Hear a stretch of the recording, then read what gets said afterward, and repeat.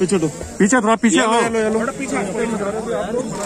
अब हमारे माननीय जनप्रतिनिधिगण अपने कर कमलों से ओपन जिम का उद्घाटन करने जा रहे हैं। ये हम सब के लिए एक ऐतिहासिक मेला है ऐतिहासिक क्षण है जिसका हम साक्षी बन रहे हैं। अरे यार तुम्हारा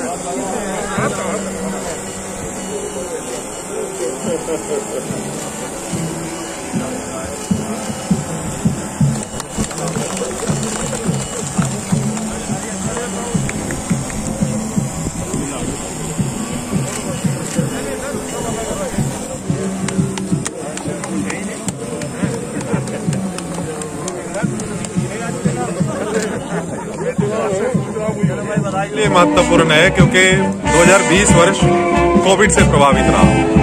परंतु जैसा आपने कहा ग्रेटर नोएडा का ये यौवन का वर्ष है। इसलिए ग्रेटर नोएडा ने आपने देखा होगा कोविड के चैलेंज को भी बड़े अच्छे से बड़े अच्छे से हैंडल किया।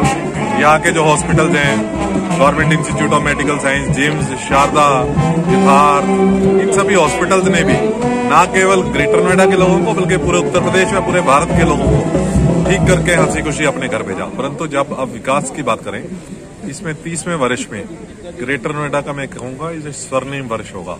क्योंकि जो बड़ी बड़ी परियोजनाएँ जिनका यहाँ पर बहुत सालों से इंतज़ार था, जिसमें जेवर एयरपोर्ट, जिसमें ग्रेटर नोएडा की साढ़े बारह परसेंट की भागीदारी है जिसमें M M L H M M T H दो बड़े प्रोजेक्ट अभी माननीय प्रधानमंत्री जी ने इस नववर्ष की पूर्व संध्या पर यहाँ पर स्वीकृत किए हैं, जिसमें बीस हज़ार करोड़ का निवेश आएगा। जिसमें यहाँ पर ग्रेटर नोएडा का एक ऐसा रेलवे स्टेशन बनेगा जो पूरे भारतवर्ष में अद्वितीय होगा एक शॉपिंग मॉल की तरह। उसके बगल में ही आईएसबीटी और मेट्रो स्टेशन तो ये एक रेलवे स्टेशन, मेट्रो स्टेशन और उनका संगम होगा। यहाँ पर फ्रेट विलेज यहाँ पर आने वाले निवेशकों के लिए न केवल पूरे उत्तर प्रदेश, पूरे उत्तर भारत के लोगों को यहाँ से जो उत्पाद है, वो भारतवर्ष के किसी भी कोने में, किसी भी बंदरगाह तक पंद्रह घंटे में पहुँचा पहुँचा पाएँगे। क्योंकि यहाँ पर जो न्यू दादरी है, वो दो फ्रेट कॉरिडोर का संगम बनने जा रहा है और ऐसी उपलब्धि बहुत कम शहरों को मिलती है। इसी तरह ये शहर तीन एयरपोर्टों से चालित है। इंडिया में लगभग ऐसा कोई एक आधा ही शहर होगा जो तीन तीन एयरपोर्टों से चालित होगा। यहाँ की सड़क की कनेक्टिविटी भी सबसे बेहतर है। यहाँ का जो डिज़ाइन है, आपने देखा होगा चौड़ी चौड़ी सड़कें ग्रीन बेल्टें यहाँ पे ग्रीन का परसेंटेज सबसे अधिक है।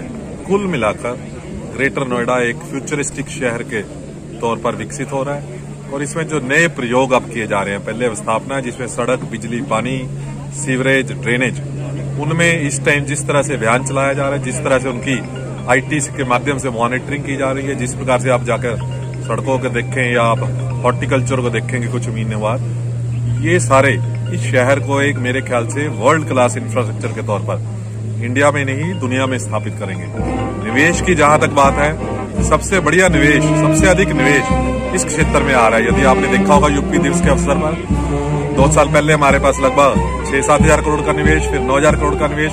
इस बार अभी तक कोविड होने के बावजूद आठ हज़ार तीन सौ करोड़ का निवेश आ चुका है और हम ग्यारह बारह हज़ार करोड़ के निवेश तक पहुँचेंगे। तो जो मैंने कहा, उत्तर प्रदेश के ड्राइवर ऑफ़ ग्रोथ के तौर पर ग्रेटर नोएडा सामने आ रहा है और इसकी धूम विदेशों में भी है। अभी लगभग दो लगभग दो तीन महीने पहले लंदन में कॉन्फ्रेंस हो रही थी। वहाँ पर इस बात के लिए कि मोबाइल का हब व्हाइट गुड्स का हब और डाटा सेंटर का हब। डाटा सेंटर अब यहाँ पर आते जा रहे हैं। तो ये पूरे हब के तौर पर पूरे इंडिया के हब के तौर पर आगे विकसित हो गया है। तो इसलिए जो भी लोग अपना शहरना यहाँ पर बनाना चाहते हैं जो लोग अपने रोज़गार के लिए यहाँ पर आने चाहते हैं उन सब के लिए ये शहर तीसवें वर्ष में उन सबको आश्वस्त करता है कि उन सबके लिए शहर उनके सपनों को पूरा करने का एक शहर होगा। तो आज जिम का उद्घाटन किया ओपन जिम के बारे में ओपन जिम जो आज यहाँ पर तीसवें वर्ष पर क्योंकि हमारा थीम है कि ग्रेटर नोएडा एक हैप्पी ग्रेटर नोएडा के तौर पर एक हेल्दी ग्रेटर नोएडा के तौर पर आगे आए। यहाँ पर ओपन एयर जिम का जो हमारा सिटी पार्क है, जो हमारा, उसमें एक उद्घाटन हुआ है शीर मेयर वॉच पार्क में, आज यहाँ पर।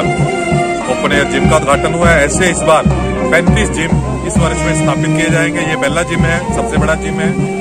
और अगले तीन वर्षों में, लगभग हम ग्रेटर नोएडा की हर कॉलोनी में, हर शहर में, हम इस प्रकार के ओपन एयर जिम स्थापित कर सकेंगे, ताकि यहाँ के लोग अपने आप को हेल्दी अपने आप को खुश महसूस कर सकें। धन्यवाद, जय हिंद।